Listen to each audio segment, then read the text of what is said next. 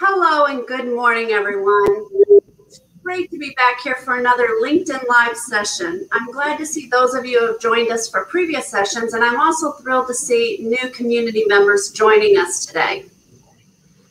I love holding these live events because they give us the opportunity to join our community together and to give a sneak peek of the incredible offerings our team provides.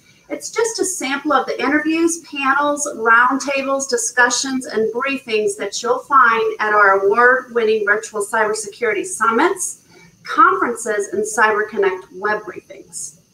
If you haven't yet, make sure you check out our upcoming event schedule. We're hosting our Denver Virtual Cybersecurity Summit next week on Thursday, July 22nd, and I hope to see you all there. Our team will be sharing the registration link in the chat, so be sure to register now to guarantee your spot. And next week's summits will have a specific focus on the Rocky Mountain region and will feature educational sessions and discussions from industry experts. Plus, we'll hear from some of the region's top security leaders at our CISO roundtable. But today's LinkedIn Live briefing will give you a taste of what to expect from our keynote speaker at next week's Denver Virtual Summit. Remember, this is just a preview, and you can count on a more in depth discussion next week. So, I'm both honored and excited to welcome Pamela Clegg, Vice President of Financial Investigations for CipherTrace. Pamela works across multiple government offices and agencies, plus law firms and financial institutions worldwide, to train officials and employees about the vast financial crimes taking place within the cryptocurrency ecosystem.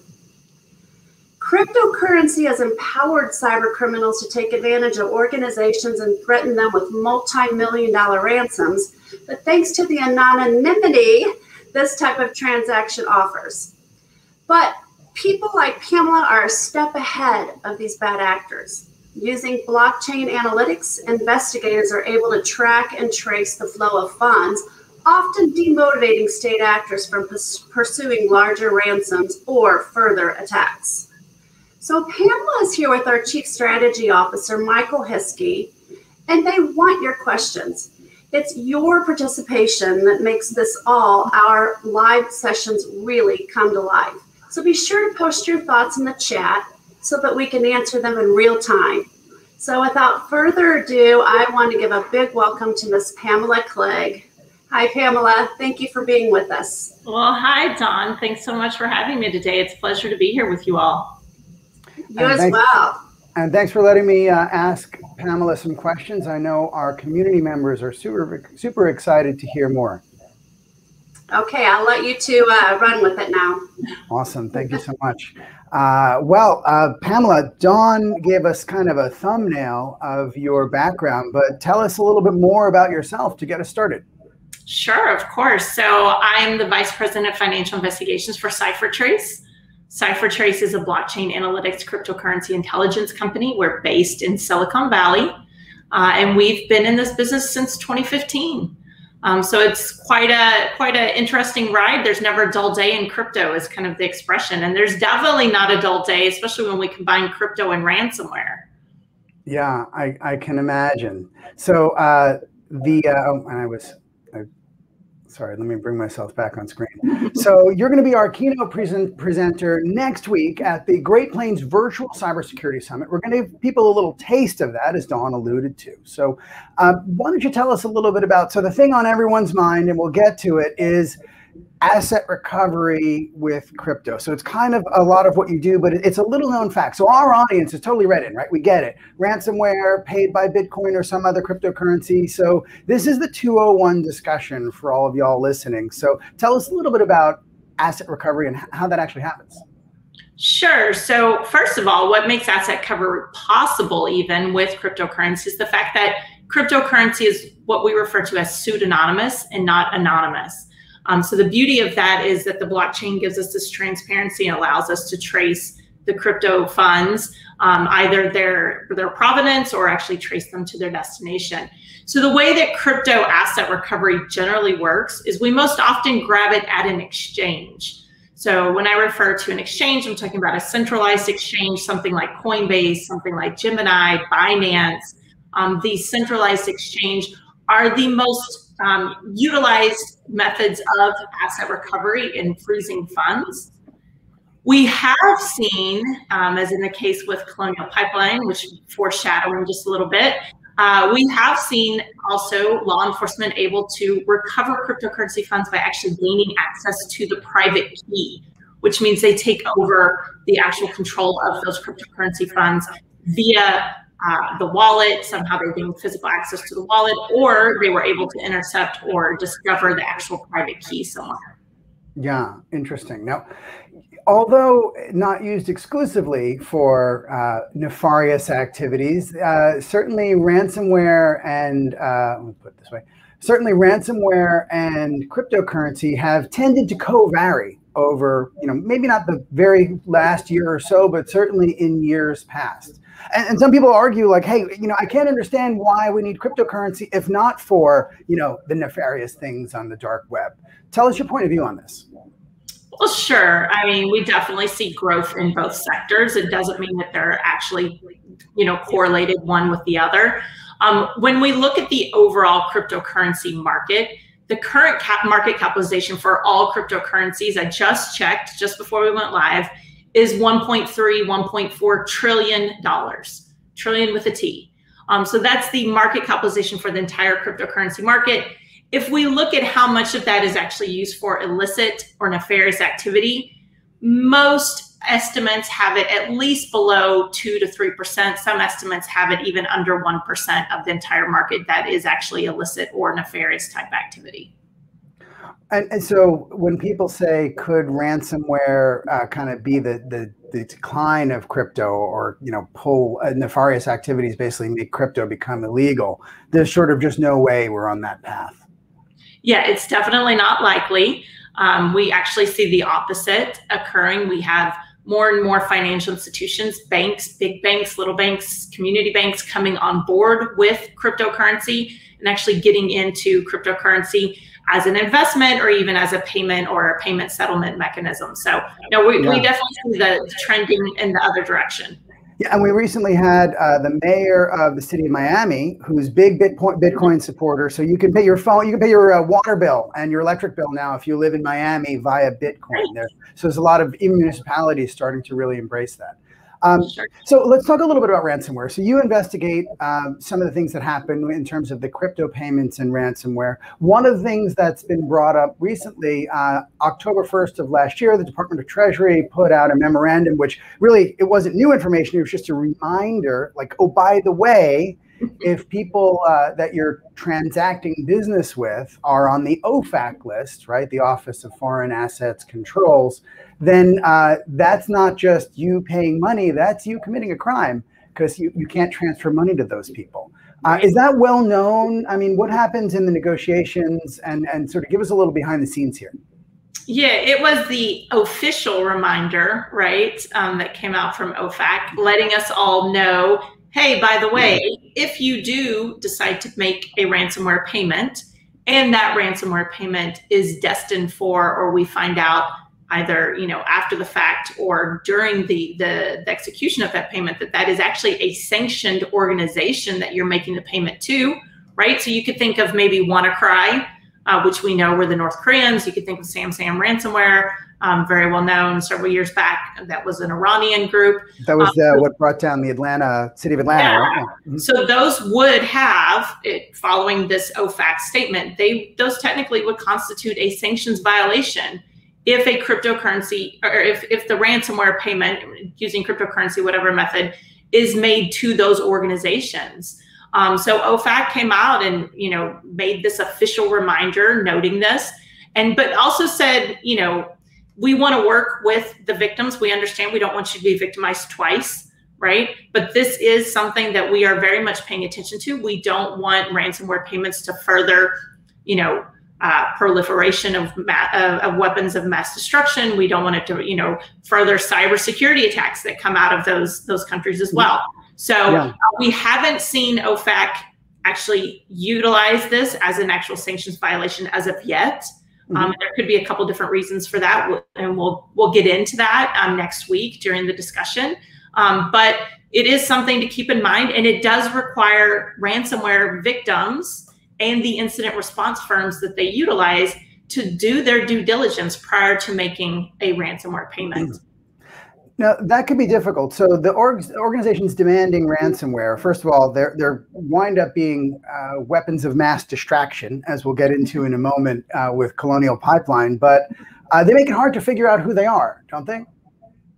Yeah, they absolutely do. Um, on the crypto side of things, uh, they the, the way that a ransomware payment is actually executed is that the ransomware act, actors, the operators, will generate a new unique cryptocurrency address to receive that payment.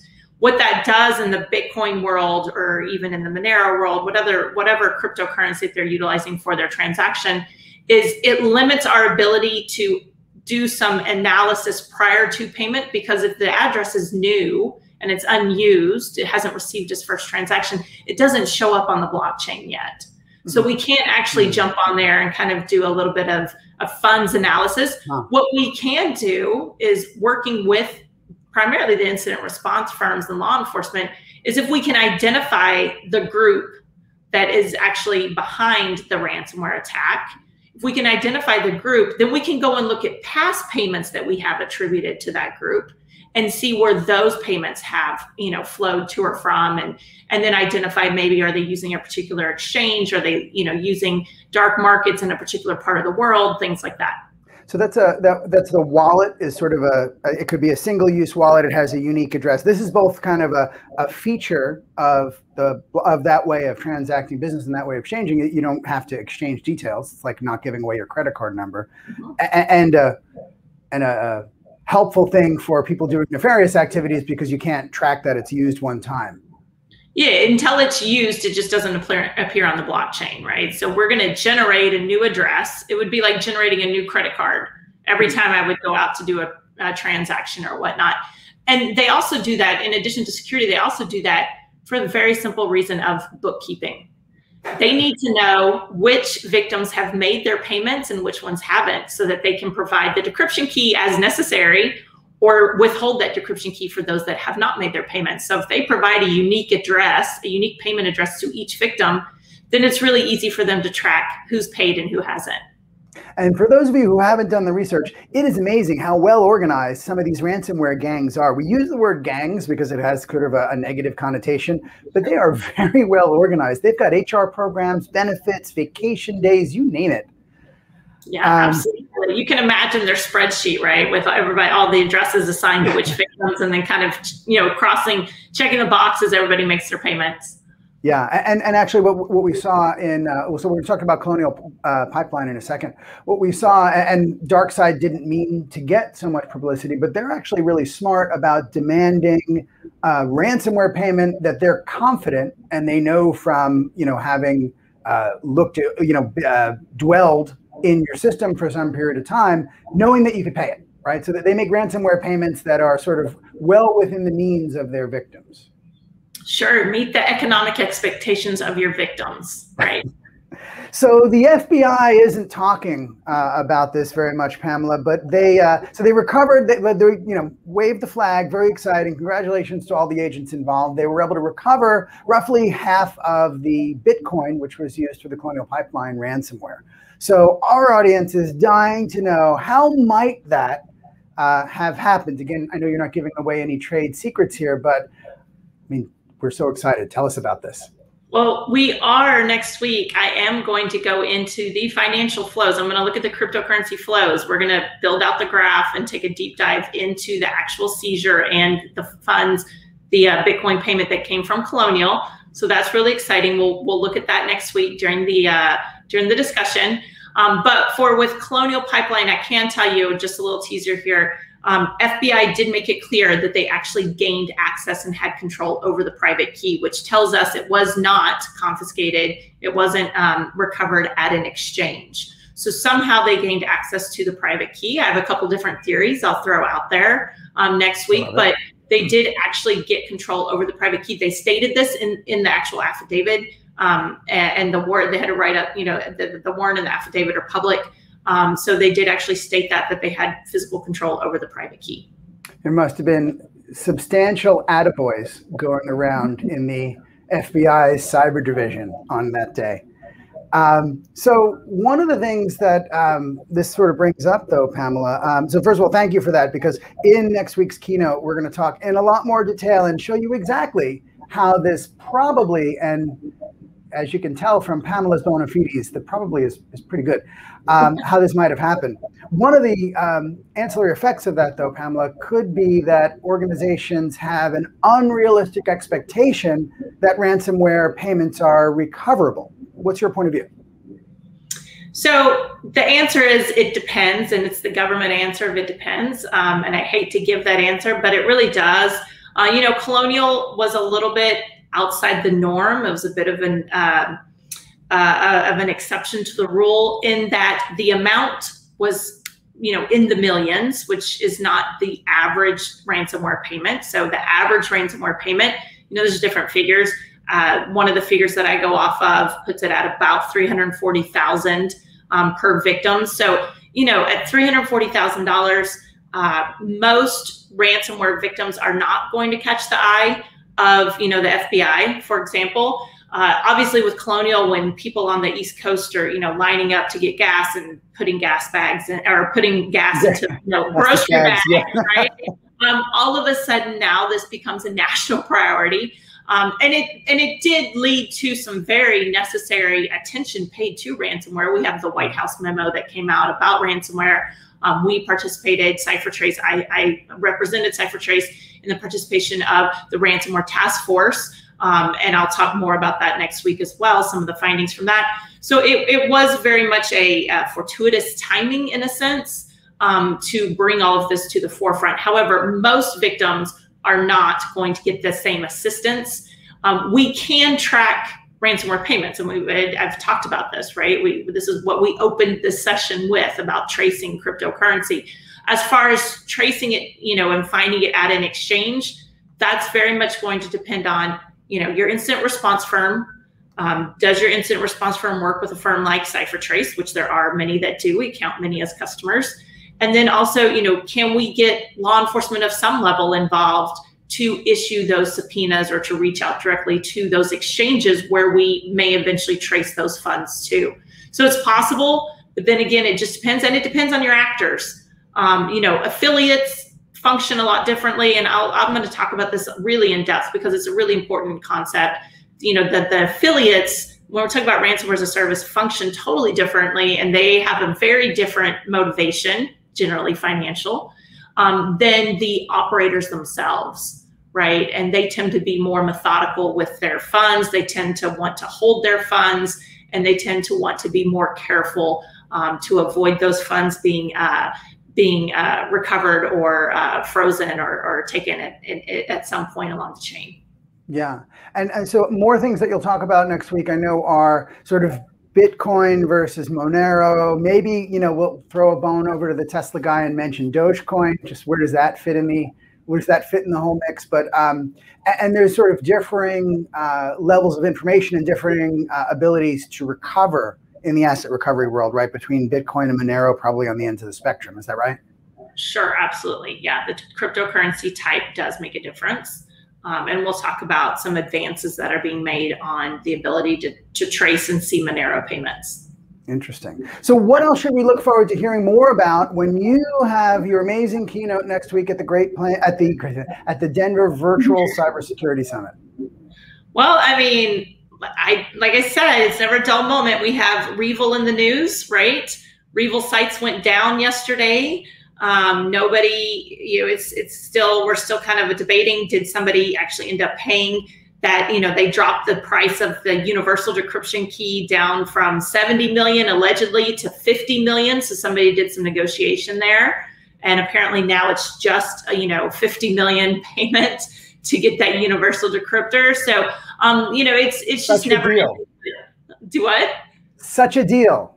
Such a deal. I mean, who doesn't have fifty million dollars laying around, right? To right. to to buy into that. So we'll see. Um, you know, even uh, out of the White House on Friday, we had um, you know, the President of the United States made a very clear statement when asked if we should go after servers that are you know being run by ransomware actors, and he said yes. It was a very clear answer. Um, so you know, even by next week, we may have you know new news. We may have updated current events, uh, issues to report. So yeah, it's uh, it's an exciting time for sure.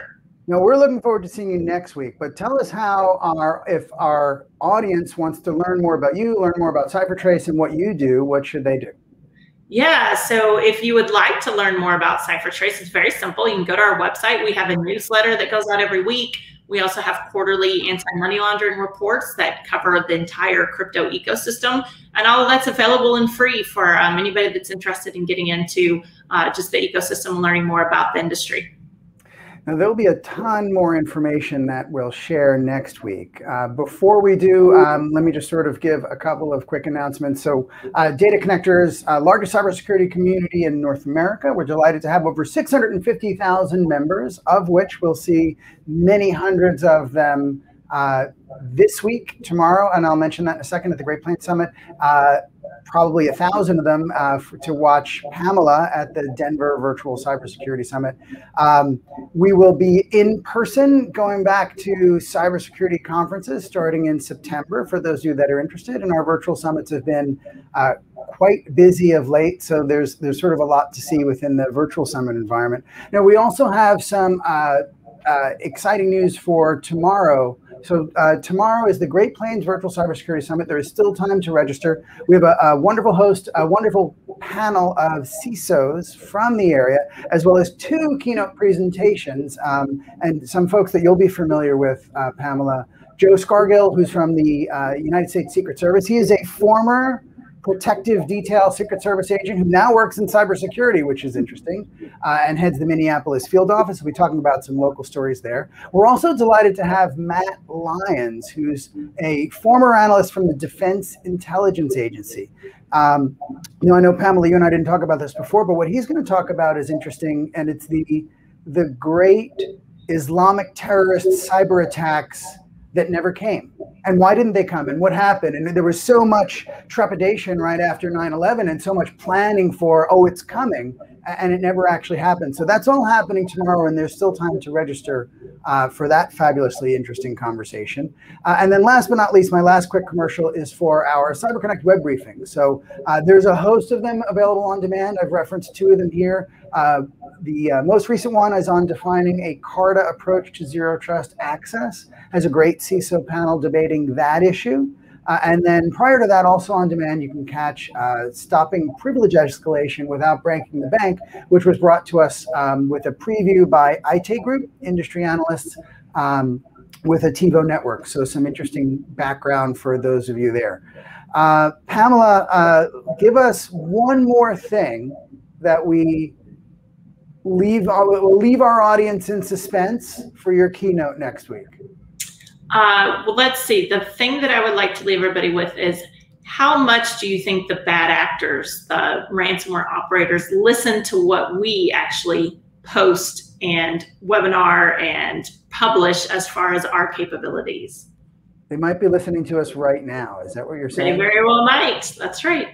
Uh, hopefully, we didn't teach them anything uh, helpful, but hopefully we taught all of you something new and exciting that you'll learn. Uh, we thank you very much, uh, Pamela Clegg, for your uh, your interesting background, your bona fides, and all the information that you will share next week at the Denver Virtual Cybersecurity Summit. You can go to dataconnectors.com slash Denver to sign up. You'll see Pamela as well as a host of educational presentations, panel discussions, all sorts of good stuff. So thank you very much, everyone. This is the end of the session today. Be sure to sign up for both the CipherTrace newsletter and make sure you come to the virtual cybersecurity summit next week in Denver. Thanks a lot.